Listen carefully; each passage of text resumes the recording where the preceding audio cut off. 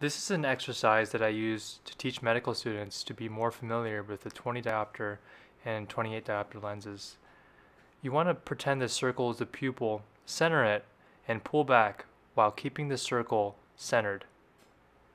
Make sure that you keep your fingers firmly fixated on an object just like you would in a patient. You can also flip letters. Here I am flipping an A. You can also shift and look at the letters from a different angle. This simulates looking at different parts of the retina. Here I am flipping a C, leaning towards the side, keeping it focused and also in centered. This is another exercise where you can kind of practice moving towards what you want to see.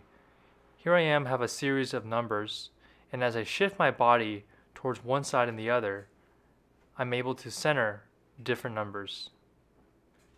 You can also repeat this exercise up and down, shifting this series of numbers while leaning back and leaning forwards.